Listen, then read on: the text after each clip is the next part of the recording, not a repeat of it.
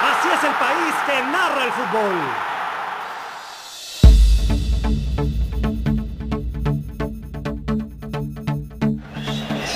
Estamos en suelo regiomontano, un suelo donde el fútbol se representa como dos formas de ver la vida. Ser rayado o ser de Tigres es una manera de identificarse como regiomontano. El fútbol llegó a Monterrey en los 40. Una tragedia acabó con parte del equipo y a duras penas se sobrepusieron. El desarrollo del juego no fue nada fácil. El béisbol era la tradición en la Sultana del Norte. Fueron los rayados los pioneros. Tigres llegó en los 70. Ambos equipos echaron raíces en los contrastantes sectores de la sociedad. En el caso de los Tigres, pues toda esta afición eh, que jala al grupo joven y que jala también al, sector trabajador este, eh, de, Monterrey, eh, lo hace ser un equipo que en realidad sí transmite su icono simbólico a sus seguidores, a su porra, a toda la sociedad que está con ellos. Sabemos que la afición, curiosamente, de Tigres, ha sido catalogada por muchos años una de las mejores aficiones de nuestro país. Monterrey pues está asociado a otro, al menos en percepción social, a un, a un sector un poco más pudiente, eh, el tecnológico de Monterrey siempre ha arropado al equipo.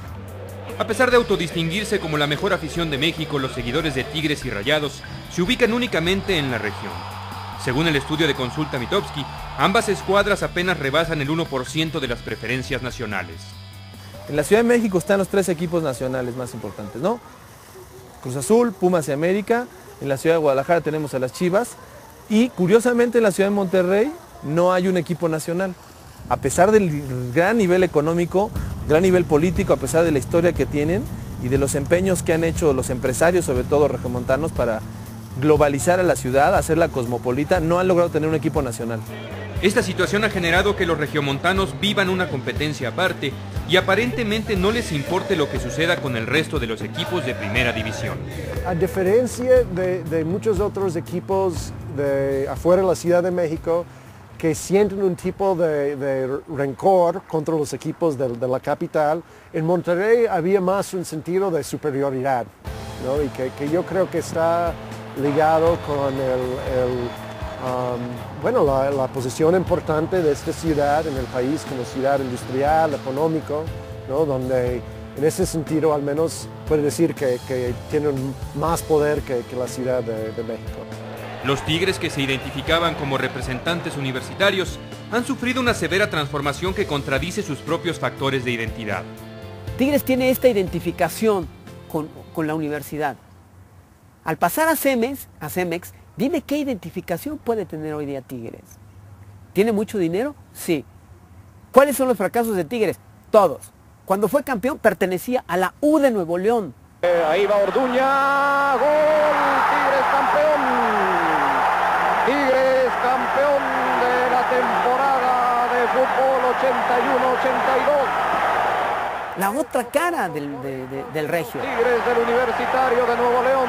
La otra cara del estudiante regio, del intelectual regio, de ese intelectual regio que, que, sí mira hacia México. Incluso el equipo de fútbol americano de la Autónoma de Nuevo León reclama los derechos totales del símbolo felino. El que ahora un equipo de fútbol americano se llame los auténticos Tigres es una afrenta para el equipo de fútbol, ¿eh? Es una afrenta. ¿Por qué? Porque el llamarse auténticos tigres es parte de un arraigo, de una identidad cultural, llamada Tigres del Universitario de Nuevo León. Hoy son de Cemex.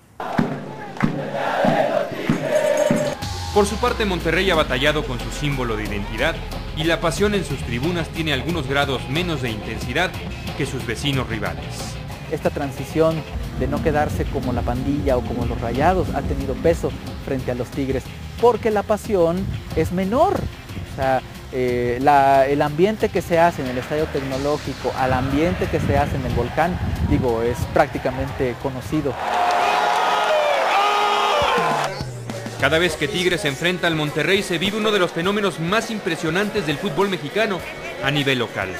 Ahí hay muy claramente un enfrentamiento de, de clases entre los equipos que los aficionados a los Tigres y los aficionados a los Rayados, ¿no? que se expresa muy bien en sus estadios, se expresa muy bien en sus clásicos, realmente el mejor clásico local sin duda alguna, por mucho, es el de la ciudad de Monterrey.